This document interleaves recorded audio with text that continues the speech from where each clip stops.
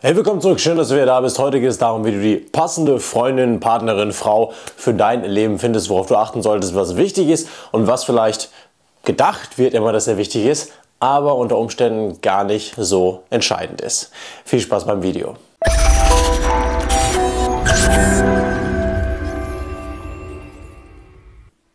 Schön, dass du wieder da bist. Ich freue mich sehr, dass du wieder hier bist und freue mich auch über die ganzen Kommentare, gerade auch über dem MGTOW-Video. Dazu mache ich vielleicht in Zukunft nochmal ein kleines Video, weil ich merke, das ist einfach ein Thema, das ist sehr relevant, das interessiert euch sehr. Ähm, ich finde es aber auch ein interessantes Thema, deswegen kommt dazu gerne nochmal ein Thema bzw. Video in der Zukunft. Jetzt soll es aber darum gehen, wie du die perfekte Frau für dich findest, die perfekte Partnerin, die perfekte Freundin und worauf du unbedingt achten solltest. Es gibt so ein paar Dinge, die werden uns immer wieder gesagt, das wäre wichtig oder wir kriegen so in den Medien mit, das wäre wichtig, vielleicht in der Gesellschaft wird uns das mitgegeben, aber manche Dinge zählen eigentlich weniger und manche andere sind wichtiger. Viele Männer entscheiden nach dem Prinzip, okay, erster Schritt, ist sie heiß, gefällt sie mir optisch. Das macht natürlich Sinn, weil sie muss dir optisch gefallen gefallen, sonst hast du immer das Gefühl, okay, ich könnte irgendwie eine bessere Frau finden oder hey, die gefällt mir viel mehr, wieso bin ich mit der zusammen? Dass sie optisch zu dir passt oder dass sie die optisch erstmal gefällt, ist natürlich ein wichtiger Faktor. Dann gibt es aber auch dieses Kriterium, man muss Schmetterlinge im Bauch haben, man, es muss kribbeln, ähm, es muss eine extreme Anziehung da sein.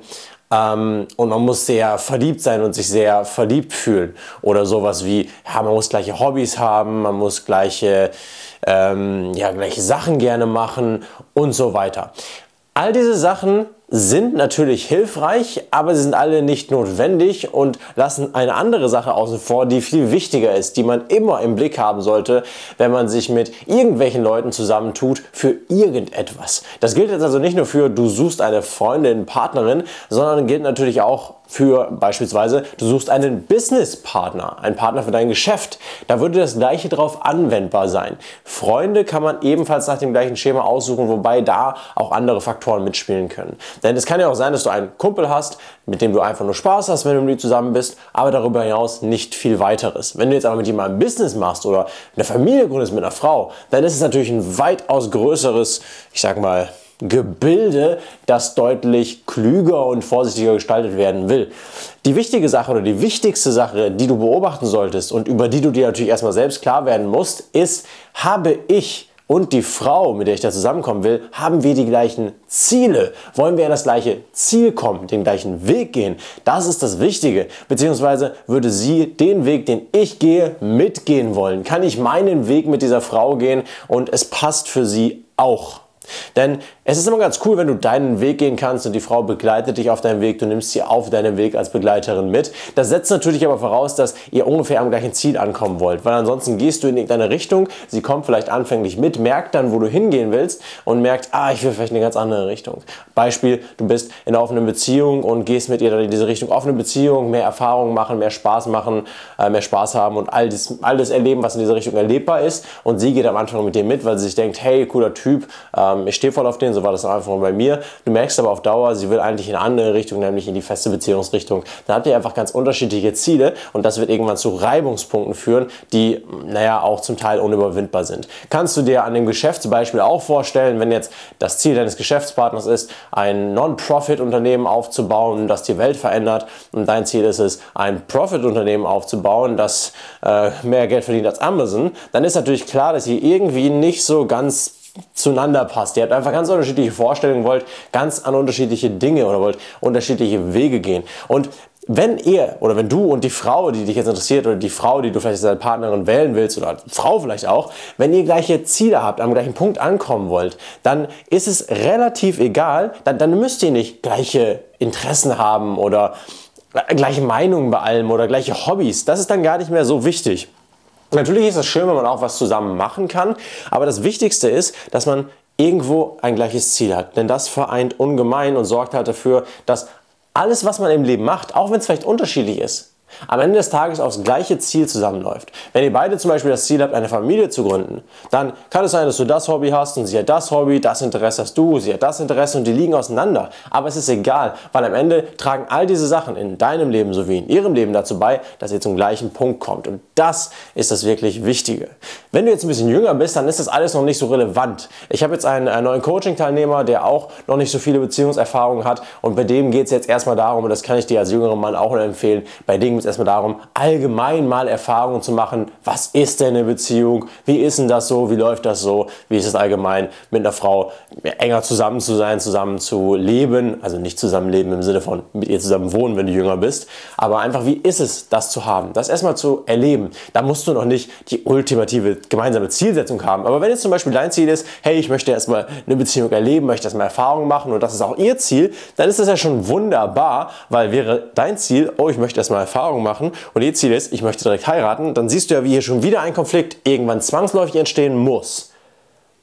Deswegen in den jungen Jahren ist es noch nicht so wichtig, weil es da auch viel darum geht, sich zu entdecken. Aber ich kenne zum Beispiel ein paar aus meiner Abiturklasse, die haben, glaube ich, damals schon geheiratet, weil das war einfach deren gemeinsames Ziel und das hat gepasst. Und die waren die ersten, die sie kennengelernt haben. Und dann waren die einfach zusammen und sind es, glaube ich, heute noch. Man kann darüber streiten, wie sinnhaftig das ist. Ähm, aber man sieht an dieser Stelle, dass das gut zusammenpasst, weil da halt gemeinsame Ziele vorliegen. Und das ist immer sehr, sehr wichtig.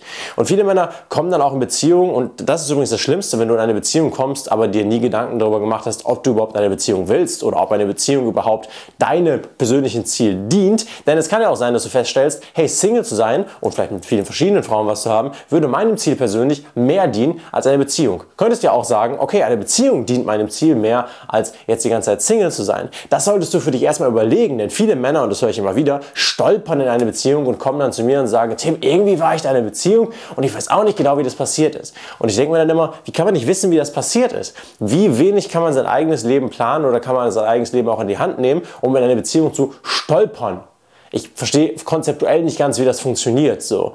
Ähm, und deswegen macht dir vorher einfach klar, was will ich überhaupt und macht es überhaupt Sinn auf meinem jetzigen Weg? Vielleicht stellst du fest, mal als Beispiel, ich möchte jetzt eine Firma aufbauen und meine ganze Zeit soll da rein fließen. Und vielleicht könntest du, weil du dich selbst gut kennst, zu der, zum Beschluss kommen, okay, es bringt mir jetzt mehr, wenn ich Single bleibe und vielleicht ab und zu was mit Frauen habe, auf ganz entspannte Art und Weise, um mich zu entspannen, um auch mal so ein bisschen Ruhe zu haben von dem ganzen Firmenaufbaukram, aber mehr so als kurze Ablenkung. Ich habe keine Lust, viel Zeit zu investieren in das Ganze. Du könntest aber auch zu dem Ergebnis kommen, okay, ich investiere da gerne ein bisschen mehr Zeit, habe dann aber eine Partnerin an meiner Seite, die mich unterstützt bei dem Firmenaufbau.